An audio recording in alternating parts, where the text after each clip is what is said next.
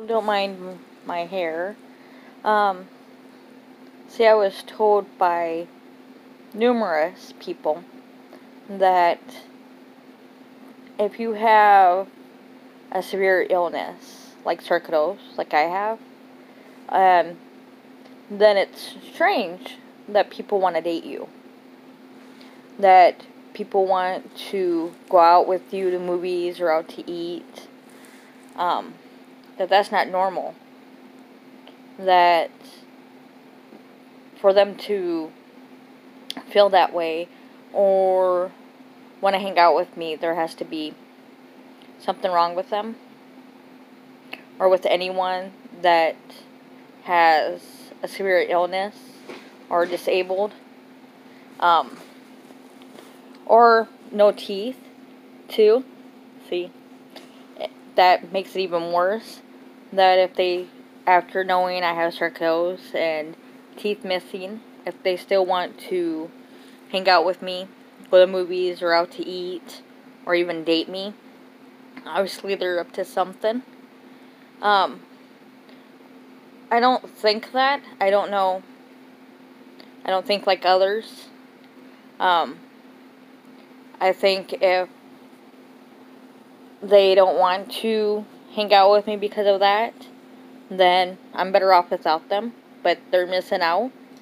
Um, I'm an amazing person, and just because I'm just because I'm disabled and my illness caused me to lose my teeth get them pulled, doesn't mean my value as a person has lessened. And if someone doesn't want to date me, hang out with me, be friends with me, or even get a chance to meet me or get to know me because I have sarcoidosis and I'm disabled or because I have teeth missing, well, then that's their loss. They're missing out. And I don't think people should feel because they have a serious illness or terminal illness or are disabled sorry um or that they have teeth missing or no teeth that their value as a human being and in life is lessened or if they can't work their value in life has lessened when it hasn't. You're still valuable. You're still a rare gem. And if people can't see that, then that's their loss, not yours. But if you don't see it in yourself, then they're not going to see it in you. And that's sad. If you feel just because of certain circumstances or certain stuff happened to you, that doesn't make you less, and you shouldn't feel that you are. I've been broken, I've been abused, I've been mistreated, I've been cheated on, even when I was beautiful and skinny. And even with my illness. And that doesn't have nothing to do with you. I don't know why we always end up, especially women, blaming ourselves. Oh, well, we either did something or we didn't do anything right or we didn't do certain things or we weren't good enough at something or pretty enough, sexy enough, whatever. When that's not the case. That's the other person. Our the person we were in love with, the significant other, that's on them. You can't stop someone from cheating, but you can stop them from mistreating you by showing them the door. Same with cheating. Because usually they cheat once and you forgive them, they're going to keep doing it. And just because you may be a little scarred or broken from past relationships or have baggage or health issues or may not be skinny anymore or may not have that many teeth left or none at all whatever the reason we're getting older. Well, we all are. Doesn't mean your value in life has lessened. Doesn't mean your value as a human being has lessened. You're still you. You're still a rare gem. I can't work anymore. I miss working. But I can't. And at first, I felt useless, worthless. And I was also called that. Sorry.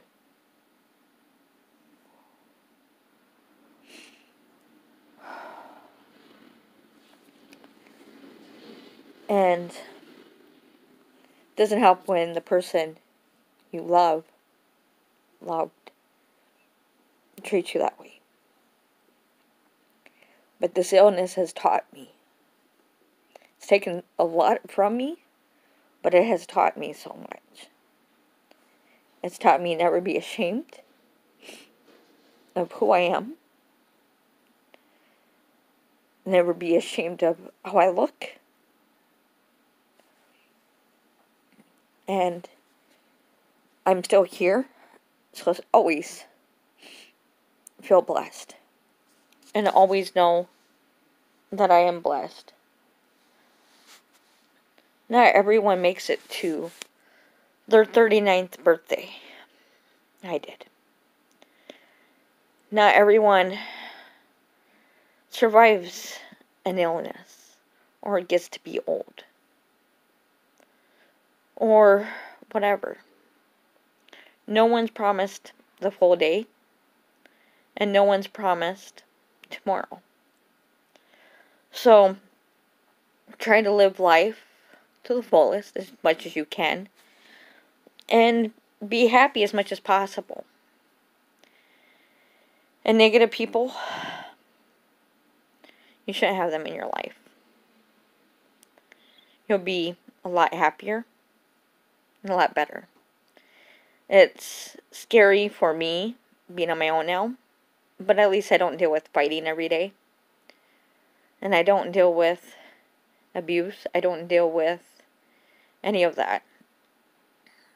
I stress isn't good for us.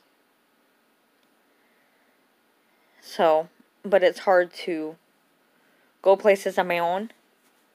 I'm scared because I lose my vision from time to time. And I miss I miss being able to go to movies out to eat. And to Grand Island. To the fair. But I also missed being loved, feeling loved.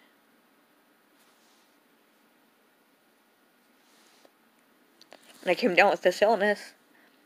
I didn't feel that. I didn't have that.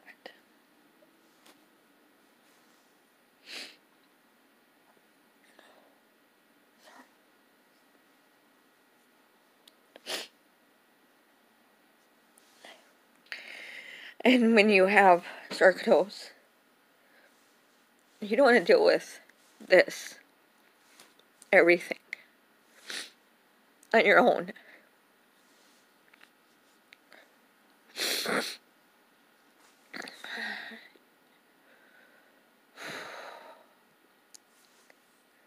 You want to have someone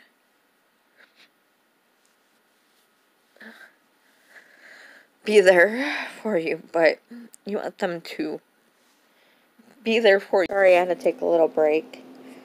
Um, when you have sarcoidosis or any serious illness, if there's no cure or doesn't get better or takes time, whatever, you want someone there for you that's going to make you feel loved, cared about, not make you feel like a burden or worthless or physically or mentally abuse you and whatnot. But a lot of us, when we become sick, we lose loved ones or we get mistreated. and it's hard being alone. Um, some people are lucky when they become sick, their love grows stronger, which that should have happened, but doesn't all the time. You need someone to be there for you if you fall. It's a lot of times we do. Our vision goes, or we lose our balance, and we fall hard. And a lot of times we can't get out of bed. We're in that much pain.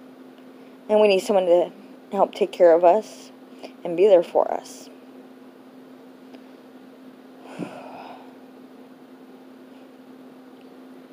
Which is hard.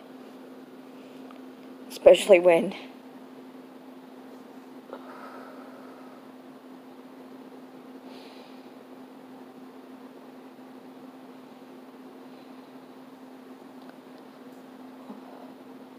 you're alone and you don't have anyone.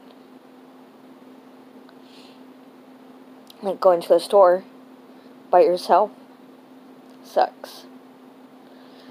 She had trouble seeing and I lost my vision last month at Walmart and fell hard.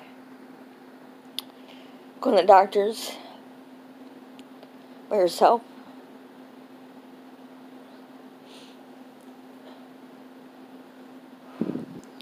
is very lonely. And maybe someday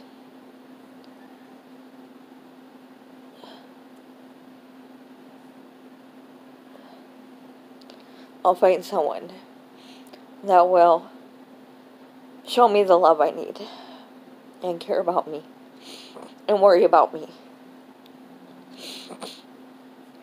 And thank God for me being his life and know that every day that I'm in his life that it's a blessing. Just know no matter what you're going through, no matter how much baggage you have or damage your relationship from your past caused, just take time to heal. And it doesn't make you less than. You're still worth a lot. You're a rare gem.